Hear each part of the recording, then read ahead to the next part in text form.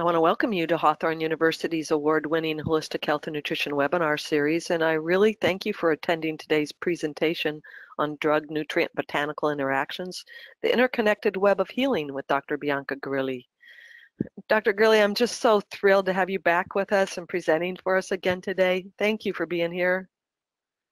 Thanks for having me, Paula. I really appreciate it. You know, we always receive terrific information from you. So as usual, we're going to record this presentation and it'll be available for replay on our website in just a few days. And we'll also save time at the end of this presentation for question and answers. So just write them into the, to the um, webinar panel at any time and I'll present them for you at the end. And I'm your host, Paula Bartholomew. I'm one of the founders of Hawthorn. So let me get us started with an intro into today's topic and for our presenter. Today we're focusing on botanical medicine, which is also referred to as plant medicine, phytotherapy, and herbalism. It's been practiced by humans for thousands of years. And so this webinar touches on the deep history of plant medicine and explores its relationship with the new to the scene pharmaceutical medications. The interactions between herbs and drugs can be both detrimental and advantageous depending on the variety of factors, particularly the combinations of herbs and drugs being utilized. So today we'll learn how herbs can support the use of pharmaceutical medications in the human body and which combinations should be used cautiously or avoided altogether. Dr. Bianca is a former U.S. Marine turned naturopathic doctor, and she received her undergraduate degree in biology from the University of Maryland and her doctorate in naturopathic medicine from Bastyr University. Dr. Garilli has been on staff at the Susan Samueli Center for Integrative Medicine at the University of California, Irvine, and volunteer clinical faculty at their medical center. She was the director of lifestyle medicine at the Institute for Restorative Health in Davis, California. And then in 2012, she established her private practice in Northern California, which focuses on the prevention and treatment of chronic illness in all age groups through the effective use of natural and lifestyle medicine approaches. In addition to her private practice, Dr. Garilli is a consultant for the Institute of Functional Medicine and for Metagenics. She's also a member of the Speakers Board Bureau for Metagenics. One of her passions is teaching, and as such, she's faculty member of Hawthorn University, where she teaches in the Masters of Holistic Nutrition program. She also loves to write and frequently publishes in various healthcare journals and publications. Dr. Garilli is the current president and founding board member of the California chapter of the Children's Heart Foundation and sits on the national board for this foundation. She lives in beautiful Northern California with her husband, two very active children four backyard chickens, and a newly added dog. She loves to read, cook, garden, and preserve fresh produce to enjoy year round. You know, isn't this just what we all want from our doctors? I do. All right, Dr. Bianca, if you're ready, I'm going to turn it over to you. Thank you so much, Paula. I appreciate that. So thank you everyone for being on the webinar today. Thank you for Hawthorn for allowing me to present this material. Um, I do really love what I do as a naturopathic doctor. And um, some of the most important things to me are staying really connected with nature, whether that be in my backyard garden, uh, outside walking. Uh, in our local area, we have hiking opportunities, water opportunities. And so really getting our hands in the dirt and back into nature, um, I think is very profound. And so this particular webinar was very exciting for me to create because it allowed me to start looking again at the botanicals that we use from both a naturopathic and a nutritionist standpoint and from our uh, holistic medicine side of things and to really dig deep and say, you know, if, if more people were to utilize herbal medicine and botanical medicine, what things might they need to know? So again, I'm looking forward to presenting this material and for any questions you might have afterwards. So we'll get started today. Let's see if I can figure this out. There we go. As Paula mentioned, um, here's a description of what we'll be going through today. But as you probably know, botanical medicine is nothing new. It's actually been practiced by humans for thousands of years, um, probably actually maybe even longer. Um, humans have relied on plant medicine for, or plants for food, for shelter, as well as medicine. And obviously it's proved very valuable for us for our survival since the beginning of time. In order to effectively and safely, however, use plants, we really need to understand quite a bit about them. We need to understand their energies, whether it's through a book that we learn this material or whether it's hands-on learning that we learn this material. We need to understand more about their chemical properties, how they interact with one another. Uh, we also need to understand the contraindications for using these particular plant medicines, potential side effects, what to watch for, and then the topic of our, our webinar today, the interactions between drug, nutrients, and botanical uh, compounds. This webinar will touch on that rich, history, but I highly recommend that if you do love botanical medicine uh, the way I do and the way a lot of our practitioners do, that you really delve into it over the next while uh, as you can through books and, like I said, hands-on learning. We'll also explore the relationship uh, for botanical medicines to the quote new to the scene pharmaceutical medications. And we'll look at both the advantages and possibly the harmful interactions that can occur between these two forms of medicine. When you're done today, hopefully you'll come away with a newfound appreciation for the healing wisdom that botanical medicine can bring both to your practice, to your patients, your clients, and your home life while also exploring the cautionary and the wise use of herbs in various situations. So as I was talking to Paula before we started this webinar today, um, I hope you'll enjoy the prints that you'll see, the botanical prints that you'll see through, scattered throughout the webinar uh, pages. And each of these, for the most part, were pulled from a free access database that you can um, easily tap into. It's from the New York Public Library. And the last slide, I believe, we'll give you a link to that. Um, but there's some just beautiful prints. Hopefully you'll be able to utilize them in future webinars or for teaching and learning yourself. So the objectives of our webinar today, as we said, is to review quickly the ancient history of plant medicines. We'll examine the biased elimination of botanical medicine from Western medicine. And then we'll also look at how its resurgence in resurgence in current times. We'll discuss the various ways that botanical medicine is currently being used in US healthcare. And then we'll get into the aspects of really looking at how drug, botanical, and nutrient interactions can happen and what to be aware of, exploring some of the most common scenarios. And we'll also look today at the drug and nutrient depletion um, situations that might occur as you're working with your clients. So jumping into the beautiful history of plants as medicine, uh, scientists and researchers have found that plants have actually been used as, as medicine as far back as 60,000 years ago in Iraq. And they found at the site of a Neanderthal man, uh, man's burial site. This was uncovered in the 1960s. And buried with him were eight different species of plants and what the scientists found were some of these plants are still medicinally used today in various regions throughout the world. So whether they were actually buried with him for um, medicinal purposes or spiritual purposes, we do know that they were utilizing plants within their culture uh, for a variety of different um, opportunities. We also know that in China, herbal medicine was used as, uh, as far back as 8,000 years ago with the earliest known record, written record uh, from the third century BC. And this, you've probably heard of the Yellow Emperor's Classic of Internal Medicine book. And this was written as a dialogue actually between the emperor and his minister. And it touches on topics of health and the art of healing.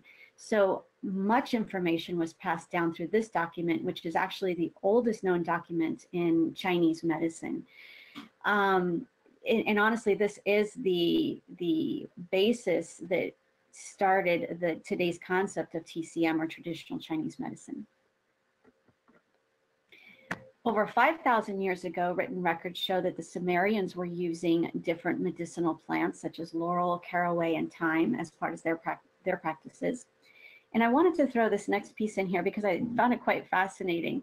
Um, there is written record back 1500 from 1500 BC of burn a burn care recipe.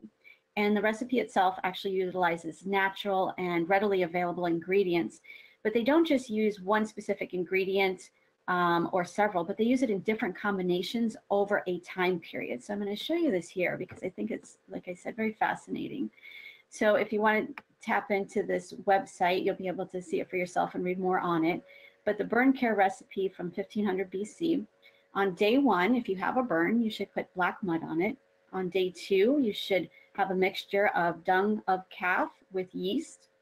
The third day, you would use dried acacia resin with barley paste, cooked colocynth and oil. And colocynth is in the right-hand picture at the bottom of your screen. And that's a cousin or within the family of the cucurbitaceae family. So that's your cucumbers and your melons, squashes. Day four, you you will put paste of beeswax, fat, and boiled papyrus with beans on the burn. And hopefully by day five, it seems like things are starting to improve and you have another mixture of colocynth, red ochre leaves, and copper fragments. So I'd venture to guess if we actually went into the uh, constituents of some of these plants and the um, particular ingredients in this recipe, that we would actually find that there is specific reasons now that we understand that each of these ingredients were, could be used to support uh, burn treatment. So if anybody wants to do that, I would love to find out what you find out as you do the research on this. When we talk about plants as medicine, we have to understand there's probably going to be a variety of different vo vocabulary words used um, to describe this. So you might hear herbalism, botanical medicine, phytomedicine, or phytotherapy, but it's really the healing practice of utilizing the herbs, the herbal materials, and the herbal preparation, as well as the finished herbal products um, within the practice uh, utilizing their active ingredients. We can use plants as medicine or botanical medicine to prevent, treat, and cure a variety of health conditions.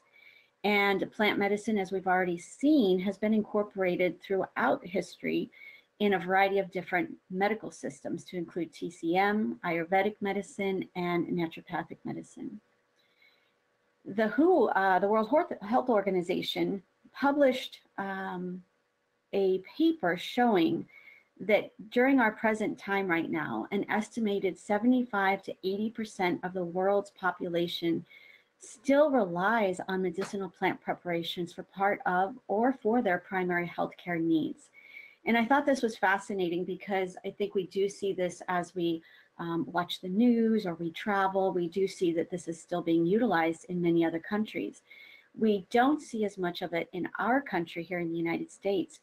However, if we dig into the history a little bit more, we actually find that as late as the 1890s, that up to 59% of the products in the US pharmacopoeia were based on herbs or herbal combinations. So that we can see that actually 120 years ago, people here, even in our country, were predominantly utilizing, I shouldn't say predominantly, a, a majority, 59% of what they were utilizing was coming from our plant or botanical medicine toolkit.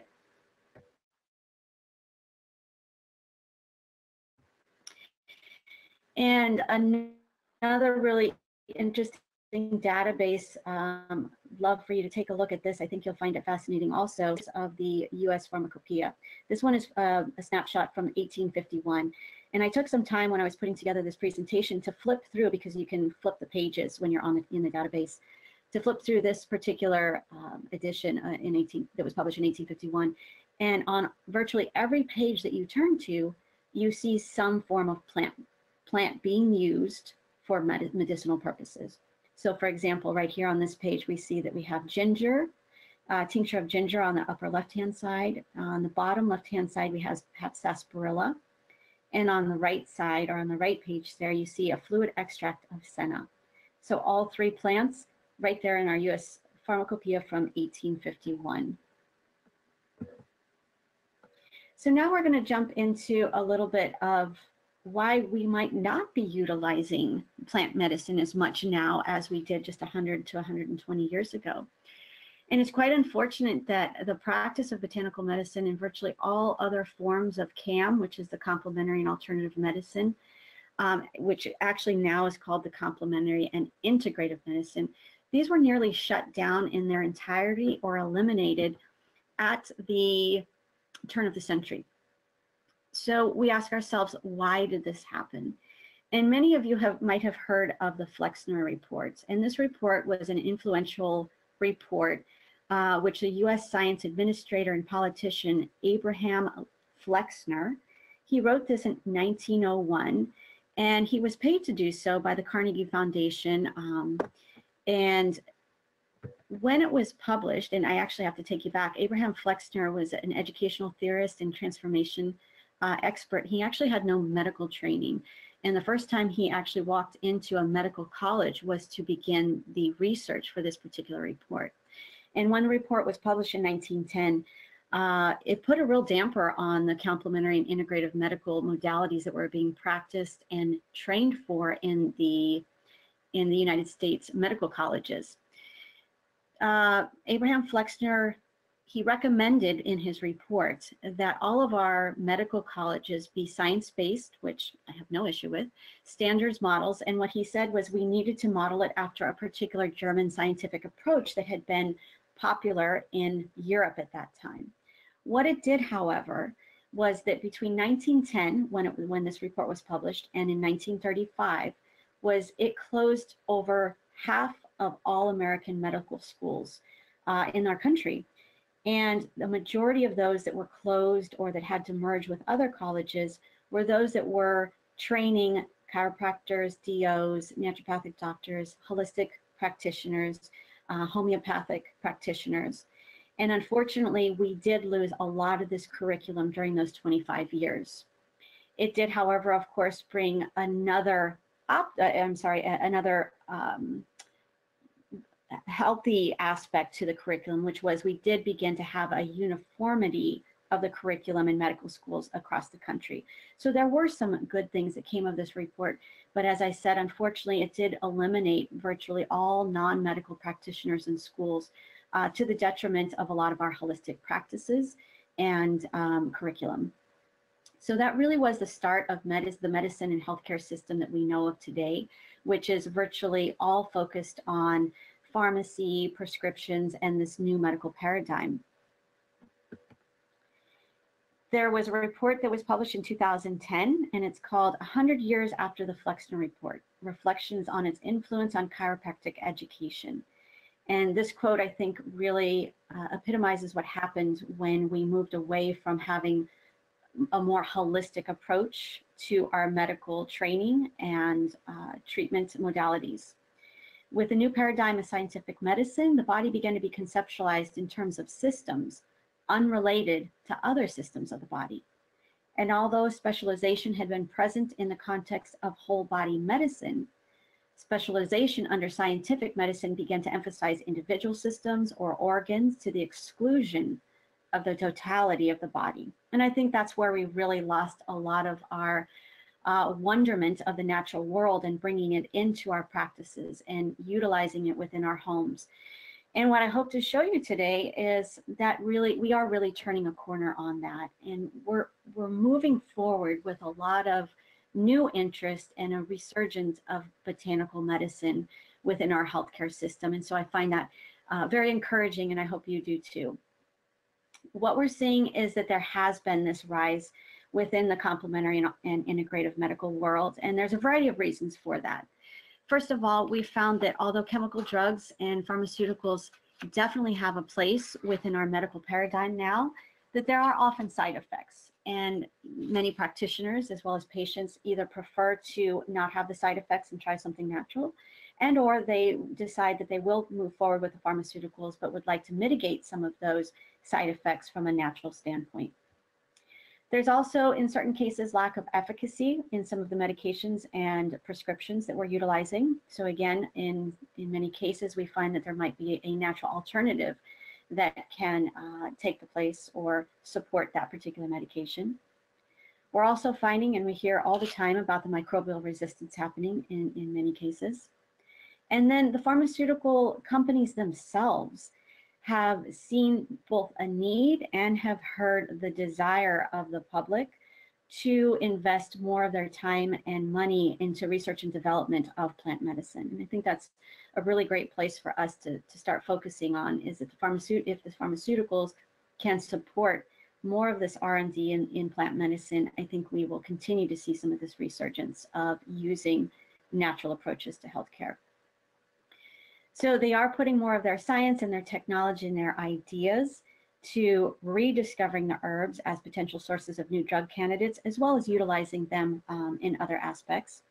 And then there's a renewal of strategies to favor the development and discovery of, quote, novel natural product drugs. So, of course, we know that these have been around for, for years and, and centuries, um, but to the pharmaceutical world, these are new approaches. The NHIS, which is the National Health Interview Survey, and they, this survey monitors and has monitored the health of the nation since 1957 through various surveys and questionnaires. The publication they put out in 2012 showed that, in fact, complementary health approaches are being utilized by about a third, a little bit over a third of the US adults and over 11% of US children. So we know that, again, this is being utilized. We're seeing it more and more in everyday practices and in everyday routines. The most commonly used complementary approach was, were natural products. Uh, this is dietary supplements other than vitamins and minerals. So we really are talking about some of these uh, botanical medicines in this case. And as you can see on the right-hand side, uh, the, the global nutraceuticals market is actually expected to reach $403 billion by 2024. So I don't believe it's going away. I think this is a great place for us to be and to learn this uh, approach and to really use it efficaciously as well as safely. Now, the nutraceuticals market report went on to say that these products are being used in, in um, single form, single product form, as well as combination forms but they're also being used quite highly in fortifications of personalized products. So this might mean you buy an energy drink that has B complex and caffeine uh, from green tea in it. Or you might find that you uh, purchase a, a um, yogurt and it has probiotics in it. Or you might buy a drink and it has CoQ10 in it. So that we are utilizing some of these nutraceuticals and supplements in maybe they're not most natural form, but they are being utilized and they're coming to the forefront of research and awareness uh, within the US general population. Because there are, is such an interest and increased understanding that botanical medicines can be and should be utilized within our healthcare system, I believe that for practitioners of holistic medicine in any form, we really do need to understand how to use them, like I said, efficaciously as well as safely. So we know there's over 53,000 species of plants that are being used uh, in a botanical medicine approach. These are in single and combination formulas. They might be used in their raw form, but they also have a whole slew of different formulations that can be utilized based on what the patient's needs are, as well as their ability to either afford or swallow or take or utilize the particular formulations. And you can see here, there's the ones that we might uh, most commonly use and see capsules and tablets, um, liquid formulas and powders. And then there's others, poultices, homeopathic preparations, and suppositories. And you can also see that in most cases, depending on the plant, um, you can use a wide variety of plant parts for the medicine. And as you get deeper into botanical medicine, you'll find that each of these plant parts will give you a different either energetic or chemical compound um, uh, formulation. So it's really helpful and necessary to understand which part of the plant to use and how to create that particular formulation. This is just, a, I thought the pictures were really beautiful. Paul, I couldn't help but put these in because I thought it was so exciting again to see so many different forms of herbs and to remember they really do come from outside, from the garden, from nature, from the forest. And, and, and these are herbs that are used for so many different purposes. Just right here on these five different herbs, hawthorn, St. John's wort, golden seal, lavender, and turmeric, we can find that there's antioxidant properties, anti-inflammatory properties, anti-anxiolytic. So we're looking at uh, for reducing anxiety. There's um, chemical properties that will help with depression. There's also properties in here for heart health and for immune system and infection. So just within these five botanicals here, you have a slew of different uh, constituents that will support different aspects of healing and prevention. So as you can see, this botanical resurgent re resurgence really is happening. And to me, that is so very exciting. But again, it comes with a responsibility. So if we are to start using botanical medicines more for our clients and our patients and within our practices, it's really important for us to know how to utilize them. We're also seeing that this resurgence is happening within the government, within public sectors, and also within private sectors. NIH, the National Institutes for Health, has published a um, database where you can go in and see different herbs and you can learn about their common names, their Latin names. You can find out where they grow, what they're utilized for, some of their contraindications and safety components. If we look at it from a research standpoint, we can see just right here from this 2016 review article that they're looking at the botanicals and their bioactive phytochemicals for women's health. So we're utilizing them for research and then hopefully from, from the lab into actual clinical practice. Herbs and botanical medicine are being looked at and utilized in many cases, either as cancer therapy or as adjunctive treatment uh, to support the, the actual first line cancer therapies. We're also seeing from a government perspective uh, that they are investing money and research into non-opioid alternatives to pain. Uh, that's obviously for a variety of reasons. And so this article, 2018, highlights various herbs that were studied in this particular uh, review, as well as saying that there is a place for herbal medicines, if you look at the last line here, uh, it says, in conclusion, this review suggests that some herbal plants can be suitable candidates for the treatment of neuropathic pain. So again, we're seeing a resurgence of research and of utilization um, in many, many areas. And then of course, you can take botanical classes and webinars and you can learn more like you're doing today. There's actual um, degree programs such as Bastyr University, which offers the Bachelor of Science in Herbal Medicines we can find botanical medicines and gardens in hospitals and homes now. And this, I, I wanted to highlight this. I, I, saw this particular speaker um, at the AIHM conference this past weekend. And this gentleman from the Rodale Institute was highlighting a partnership that the Rodale Institute has created with the St. Luke's Hospital System in Pennsylvania, where they're now providing garden grown or farm grown food from their St. Luke's farm to patients at the hospital. And we can only hope that maybe in there, they're also planning some, bot some botanical uh, components. Maybe they won't utilize them for medicine, but maybe they will be in a vase somewhere. And maybe the lavender will help with some of the anxiolytic components. So I think there's there's we're, we're making movement and we have so much room for growth here. We also, of course, know that they're being used as supplements in, in the natural health industry. So as I was saying, if we're going to use these and we have the potential to use these and we know that botanical medicine has a place in our medical healthcare system, then we need to know what we also need to either warn or cautions our, our clients and patients on when we're recommending these supplements and these botanical medicine components so that we are doing this safely. So what I want to take you through next is maybe not as glamorous as some of the other things that we just looked at, but really getting into the systems of where we need to keep our focus when we are making recommendations for botanicals and or what we need to be aware of when our patient and client comes into our office and they are already on medications. So we forget sometimes that it's not just us who is making recommendations in a vacuum, there's typically several other practitioners who are also involved in a client's client's care and that might be their medical their primary medical provider it might be an acupuncturist it might be another nutritionist it might be a chiropractor. But often there are multiple inputs to uh, prescriptions as well as recommendations for supplements and nutrients and botanical medicines so I think we need to be aware that there's multiple areas where interactions can occur. We're going to talk a couple of, we're going to talk about a couple of examples for drug nutrient interactions, and we're also going to talk about several drug botanical interactions.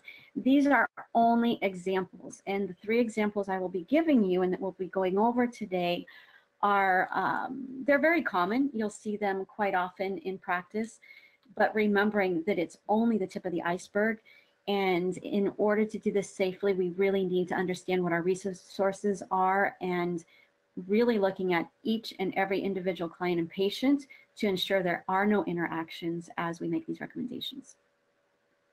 So drug nutrient interactions, there are several mechanisms in which this might play out. We can see the interaction happening at a transport and absorption level through the carrier and binding proteins. We can also see it happening through enzymatic processes, which would affect the bioavailability of sometimes, usually it's the, the drug or the pharmaceutical, but sometimes it's also the nutrient uh, that we are recommending that might be affected by the enzyme interaction there. And then also a, a big component and a big um, category would be the metabolism of drugs, which would go through the liver enzyme, the CYP450 enzymes. Now, these interactions can happen throughout the body, whether it's in the blood, the brain, the liver, the kidneys, or, or particularly in the gut. Most of you have probably heard that there's warnings surrounding drinking grape juice along with several different medications. And so what we'll look at here is that grapefruit juice itself can actually have an impact on medication, various medication in different ways, depending on which medication it is. So you may have a medication on board that if your client drinks grapefruit juice in in higher quantities, it's not just a small amount, but in higher quantities, that it could block an enzyme uh, or an enzymatic process that would actually lead to having too much of that pharmaceutical medication in the body. And so that could obviously have some uh, detrimental side effects to the patient. We also see that it could impact a different kind of medication in a different way. And in, in this aspect, it could block the transport of the actual medication itself, leaving too little of the medication to be absorbed and utilized by the body. And then in that case, the drug just would not be as efficient for that patient. So, and for grape juice, juice, grapefruit juice, there are actually several different uh, medication groups that it can impact to include the various cardiovascular hypertensive medications of the calcium channel blockers, the beta blockers, the angiotensin II receptor blockers, and then also anti-cancer agents and the uh, ubiquitous statins. This is a 2010 uh, article. It's again beautiful pictures just to explain to us how this might be happening. And so this particular article and research um, trial looked at how or, or did grapefruit juice actually interact with warfarin. And so the slide shows you the actual details of how that might be happening. And their conclusion was, in fact, that grape juice, grapefruit juice, especially in large quantities, would, it could be plausible in creating an interaction with warfarin. So I just wanted to show you that there's actually studies coming out that show how some of these things happen, what the mechanisms are, so you shouldn't be at a loss for finding resources and references to be able to review what your patients and clients are taking, what they're eating, and what you might want to recommend. So the literature is definitely available. And in this case, what they found was that grapefruit juice does increase what's called the INR, so the bleeding time. So clotting goes, clotting time is increased, and it could re, uh, lead to increased bleeding uh, for this particular patient if they cross the two uh, components. Looking at drug botanical interactions, uh, a botanical or herb that many people are familiar with is St. John's wort or Hypericum perforatum. And this is typically used for depression as well as menopausal symptoms. And if you go to the database online, I believe this is from um, drugs.com, you'll see that there's a wide variety of possible interactions between St. John's wort and multiple, multiple categories of medications. So this would be one that's high on your list of red flag. When you want to recommend St. John's wort to someone, you would absolutely start to take a look at what medications they might have on board, but you would also want to warn them because let's say you did tell, give your your client a recommendation for St. John's wort and they moved out of the state and they weren't able to come back and see you again. You don't know that down the line they may not add some of these medications to their regimen. So again, it's really important to educate the people that we're also seeing and making these recommendations for. Slippery elm, um, this is used as a carminative, so for the GI tract as well as for colds and respiratory issues. And this also has multiple different drug botanical interactions. So we might think that slippery elm is just very, um, uh, that there are no interactions or contraindications or issues that, that we would recommend here. But in fact, what we want to watch for is it kind of coats the GI tract, if you will, because it's a demulcent and um, it's similar to other mucilaginous agents that it could actually prevent or delay some of the absorption of other substances, particularly drugs in this case that we're concerned about, or even food. So again, it's not something that's maybe high on your list of knowing right off the top of your head if somebody comes in with slippery elm. But if they're having issues with their medication or they're having issues with nutrients, it would be something that you consider. So again, this is more about creating awareness as practitioners so that we think through all of the different components when we are either making recommendations or we see a patient coming in on particular supplements or medications. This next section is going into the drug nutrient depletion opportunity or potentials that you may see when a patient comes in on different medications. So if recall, you recall what we did just a few minutes ago over the past few slides, we were looking at the drug botanical interactions and the drug nutrient interactions. But now we're going to look at how certain medications might actually deplete some of the nutrients that we might be recommending in a diet. So here again, it's really important that we have the knowledge and awareness and be able to do some of the research if we don't have the answers right at our fingertips. And it's also very important that we create some educational components for our patients so they also are aware of the potential interactions. Now, if we think that there are some issues with a medication that our patient is taking and that we think it might be creating some nutrient deficiency, there's a couple different ways we can manage this. Number one, we can do some lab testing, look at the results, or we can also partner with a practitioner if that's not within our scope, and we can do ask for additional lab testing. We can look at signs and symptoms. So there are a variety of different resources where you can learn more about looking at fingernails, looking at um, tongues, looking at skin, eyes, etc., to learn the signs and symptoms of, of particular nutritional deficiencies. Those are part of the physical findings. And then, of course, if we do feel that there is a nutrient depletion based on a drug, we're not going to take the patient off the drug necessarily, but we are going to start working on their nutritional aspect and referring as appropriate. As we look at how some of these interactions might take place, how a drug nutrient depletion situation might occur, there's various ways. For example, a patient might be on a medication that reduces their appetite or their taste sensation is diminished, in which case their appetite is also diminished. And in this case, maybe they don't eat the nutrients they need, and again, they're deficient. We might have a nutrient loss, such as a particular diuretic. It may deplete their potassium stores. Or in fact, we might actually have a decrease in nutrient production. So this would be the case of particular antibiotics that might kill certain intestinal flora that was helping to actually extract nutrients from the food, such as the case of vitamin K. So again, there's a myriad of ways that this might take place. Uh, depletions can happen because of the interactions uh, through absorption, the actual synthesis of vitamins and nutrients, transport, storage, metabolism, and excretion. So as healthcare providers, we know that health problems are rarely a, come from a single issue. They're typically multifactorial, they're often complex, and we look at the whole picture as practitioners. We look at their diet, stress, sedentary lifestyle. Those are the first things we, we think of. We think of genetics and sleep disturbances. We think of environmental toxins, but sometimes we forget about the potential interactions and depletions that might occur from the interactions of the medications that might be on board. Now, there are going to be various um, PDFs and databases. I've given you a list of resources at the end of this webinar that you can look at, but there's going to be quite a few different ones you can look at. And what you'll find across the board is you'll find very similar, similar categories of drugs that can actually create some of these depletions.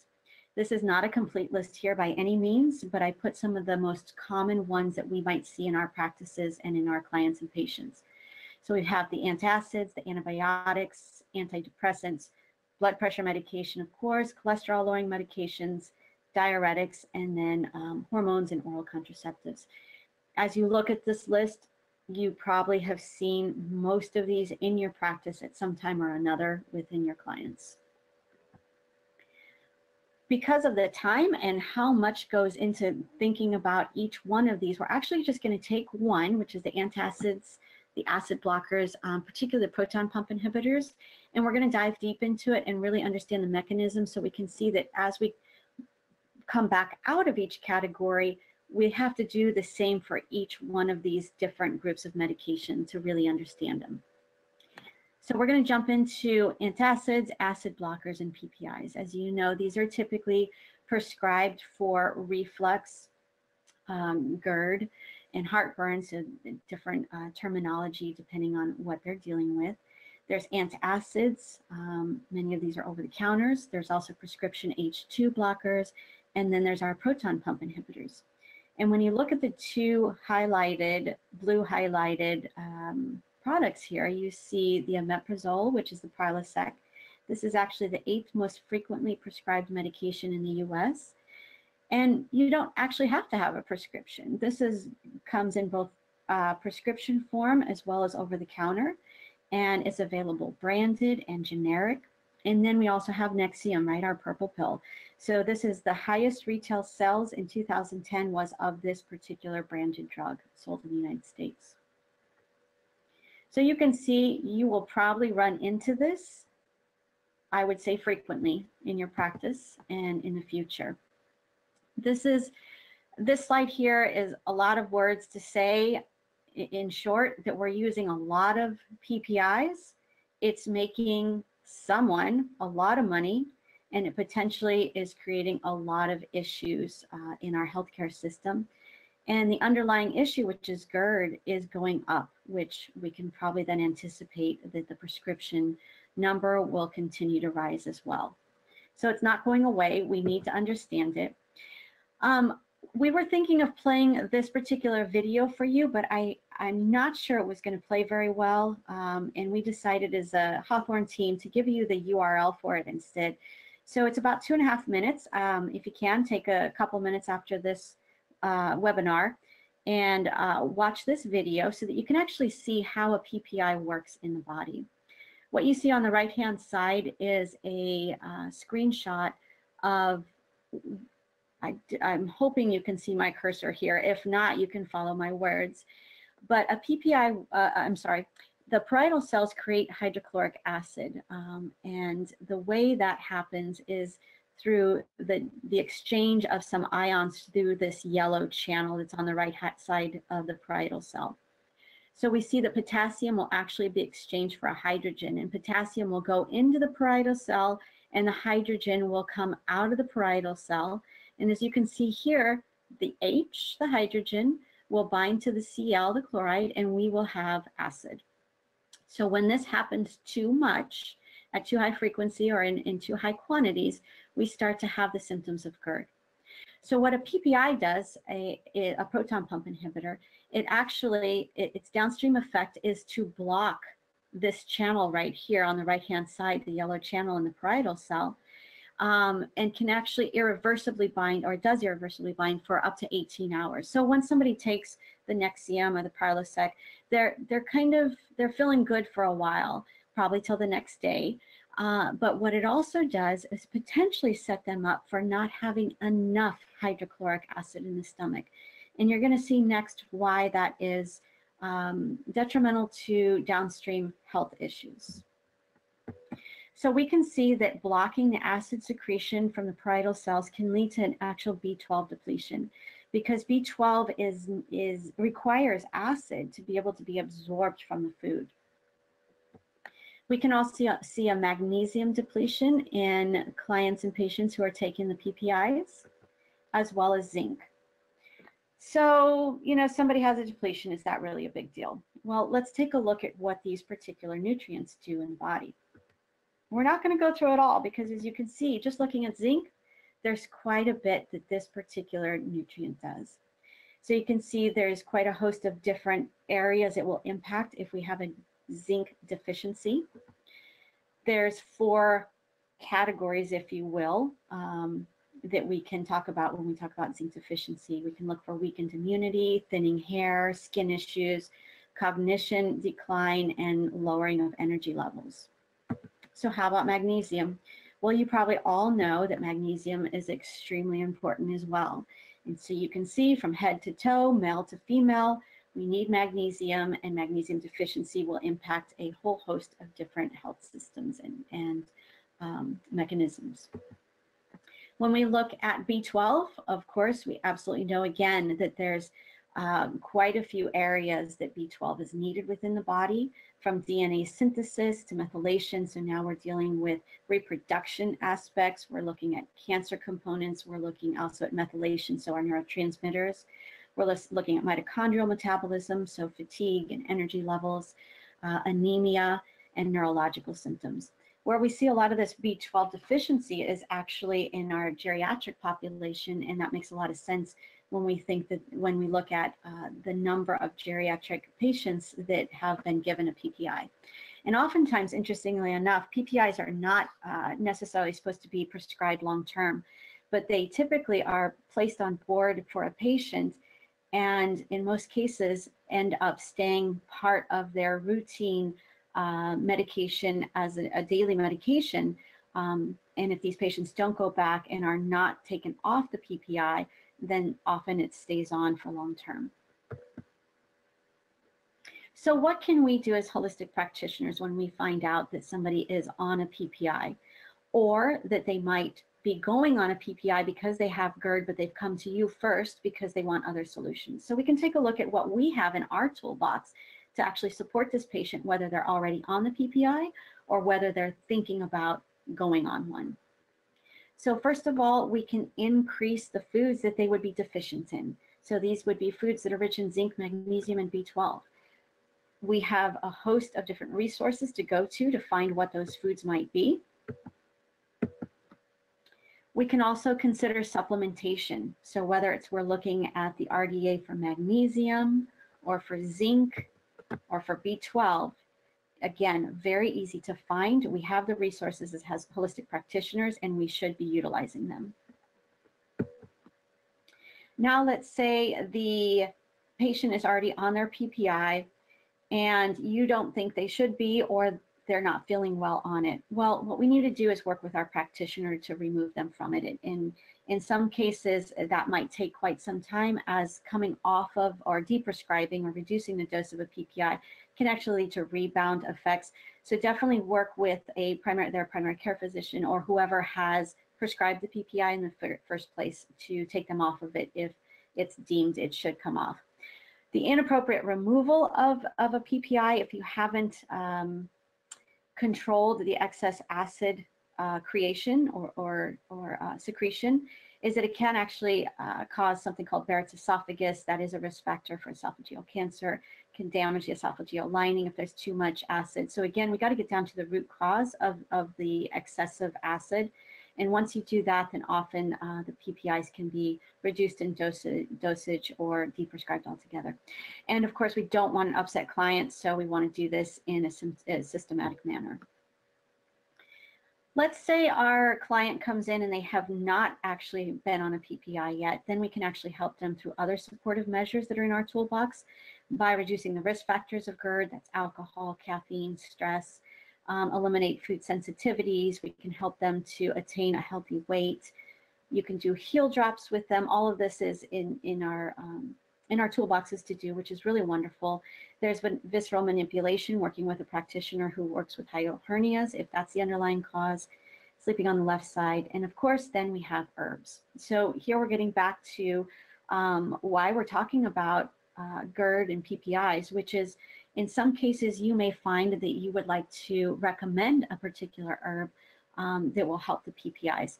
And so in this case, we're going to look at herbs that uh, reduce secretion of acid or that are demulcents, so they're helping to coat and uh, reduce the symptoms of the excess acid, carminatives to help with digestion of the food, or bitters, because in some case cases, um, the actual GERD can be stimulated through uh, hydrochloric acid, so too little of the hypochloric acid, so we don't have enough.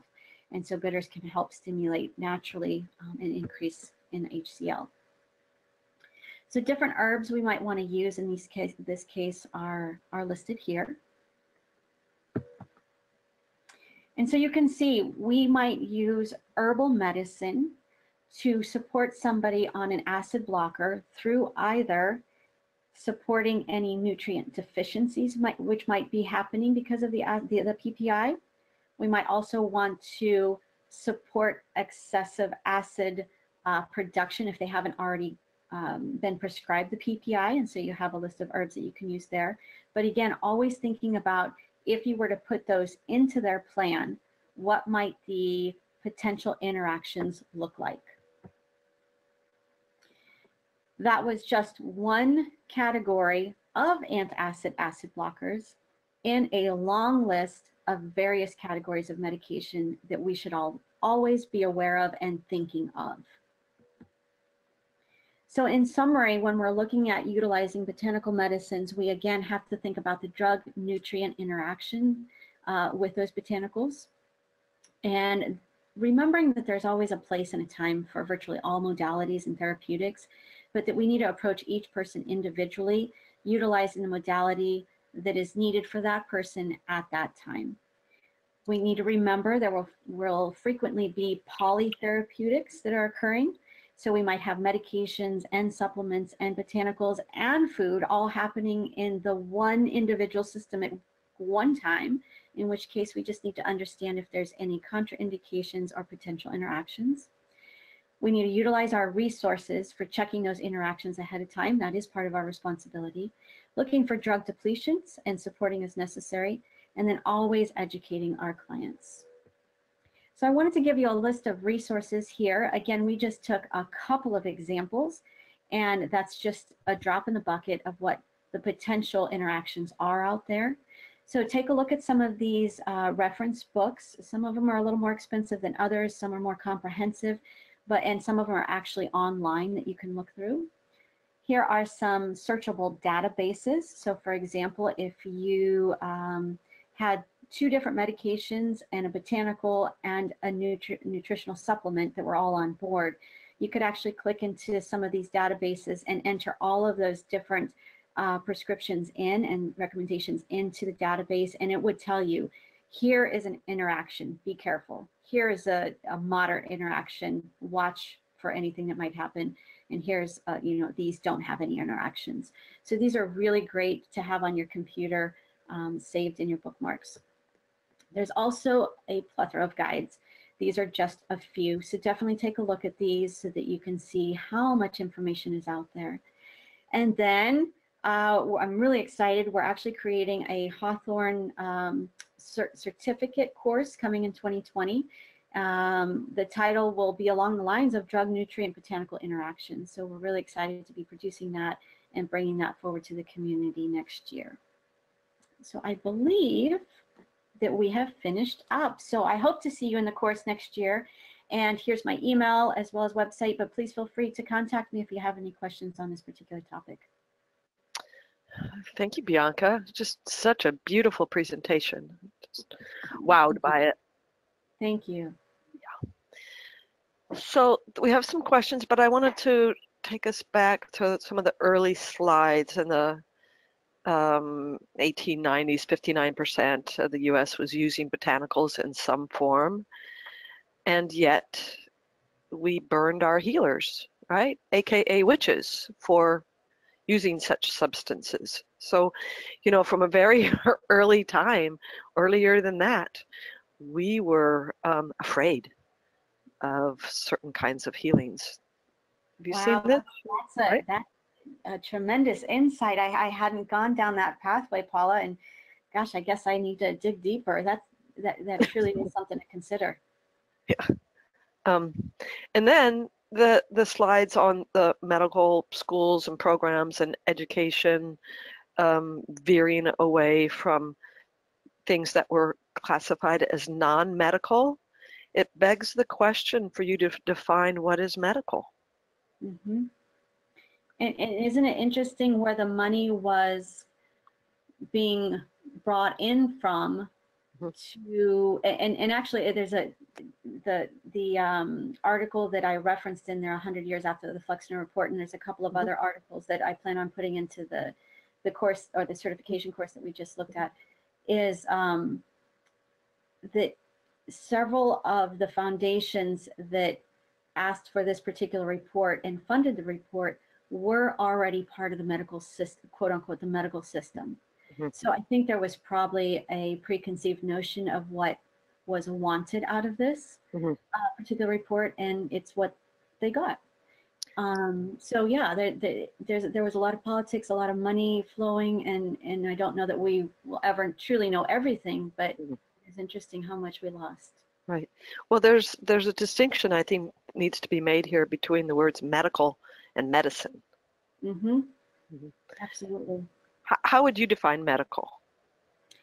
Well, when I think of medical, right, it, it, it would be that more conventional. I think of the the white room and um, just our, our conventional and not the not well, when we say traditional, right? Sometimes we Mhm. can see traditional as being the the herbal and and foundational medicine, or we can Right. think of it now. So that even that word uh, needs to be more defined. So medical to me would be more that conventional medical system, whereas medicine to me encompasses everything. Right. So medical really is born, and this ideology is born with AMA. hmm Yeah, yeah, and it, and it created this whole curriculum that of, like I said, uniformity of the curriculum, and so so in many cases there there was probably some positive, definitely some positives that came out of the report, um, as it noted in in one of the articles I was reading, and it stopped us, you know, from bleeding people, and you know, so there were things that were positive Mhm. that, from this, but we might have jumped the gun of getting rid of you know the baby with the bathwater. perhaps. You know, when you say, you know, holism is it was disappearing, yet, you know, the medications that are being made at that time and currently are based on plants. They're developed from plants.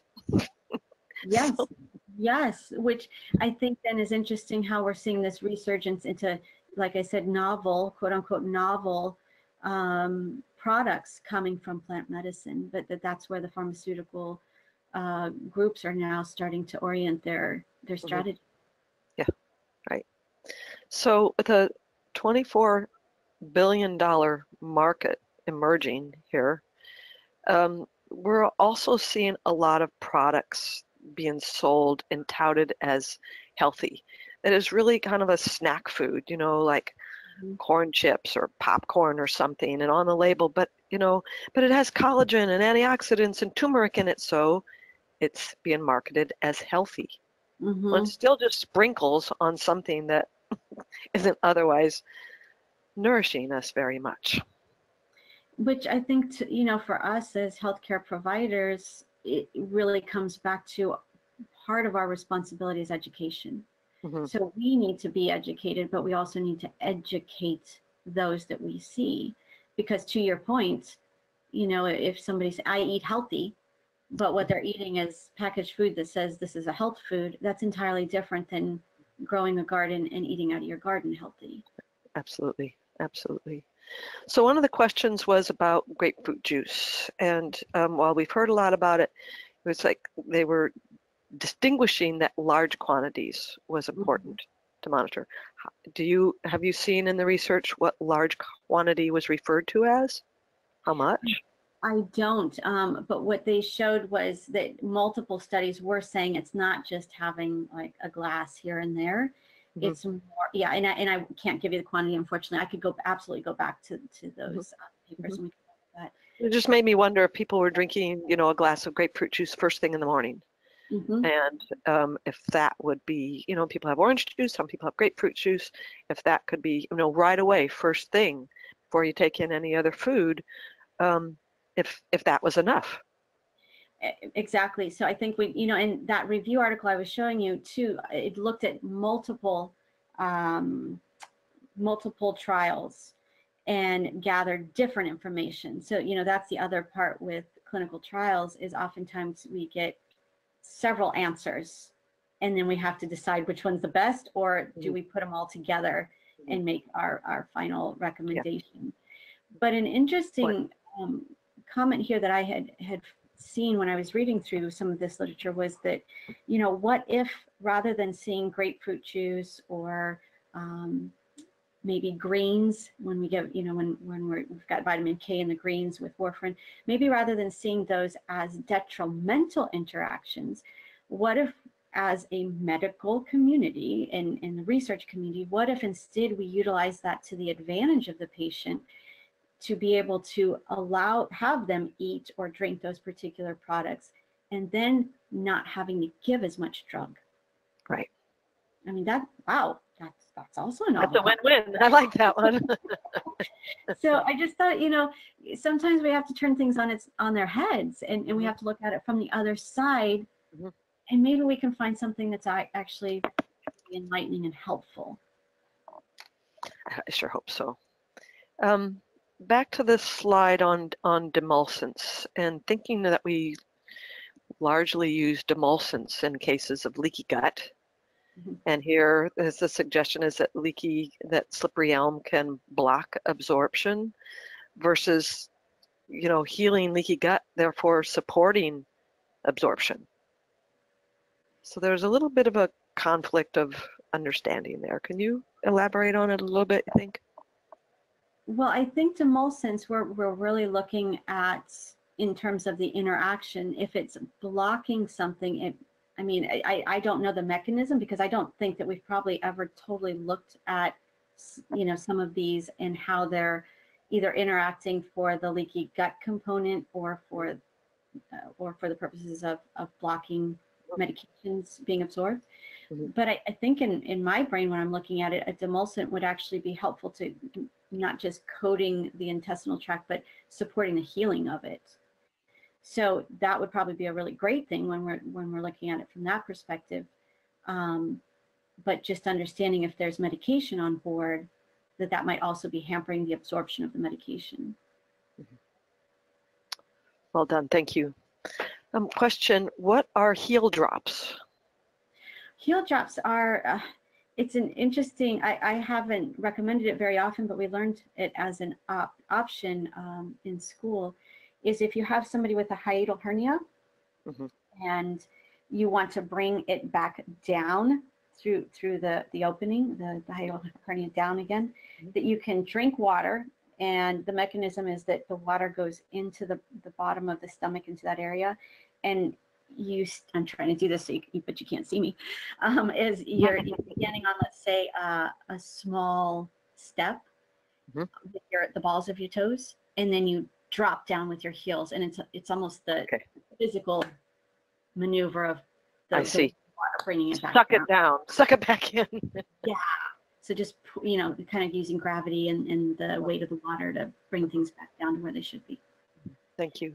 Mhm. Um, back with um, things we can do when we suspect that there's a, a drug nutrient um, depletion.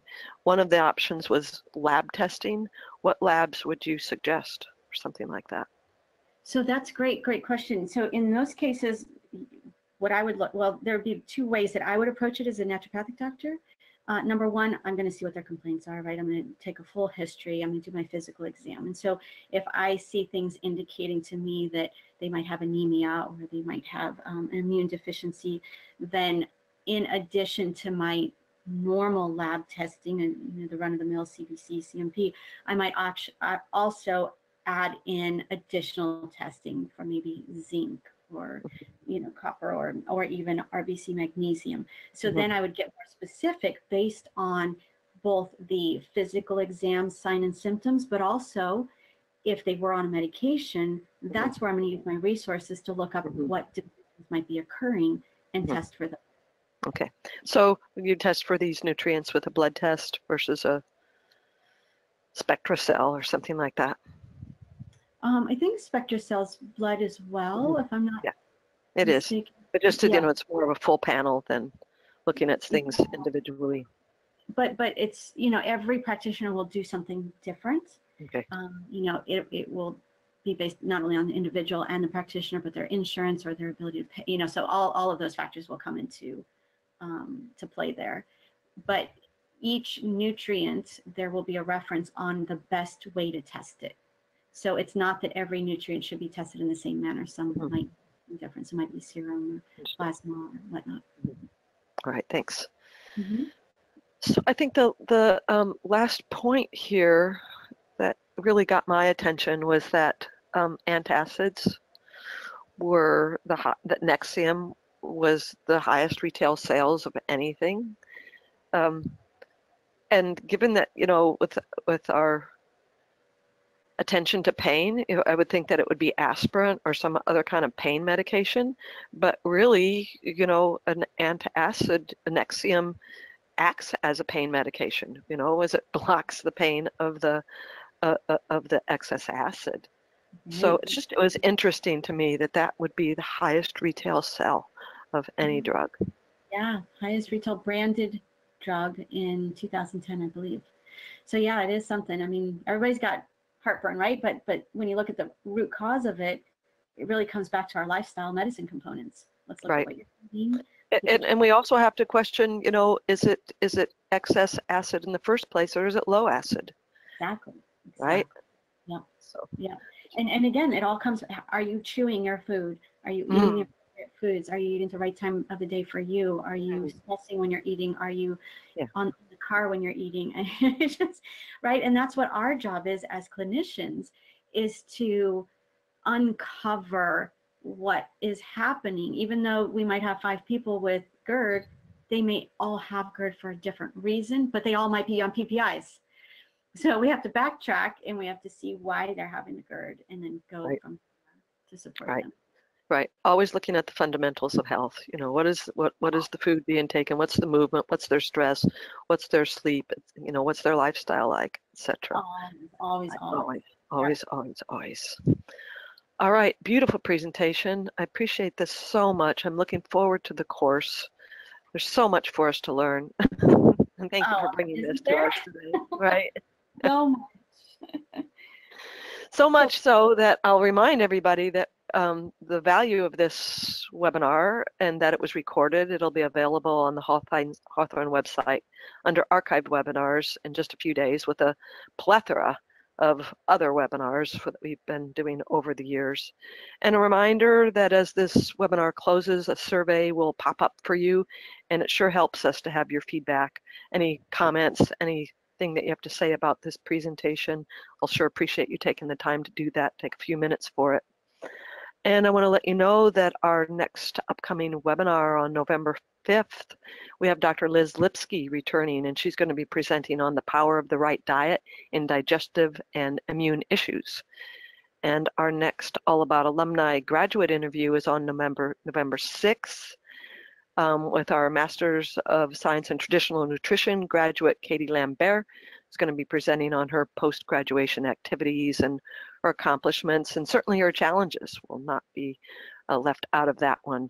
And for this also, we've had so many previous terrific grad interview presentations, so I encourage you to check out our archives on that as well.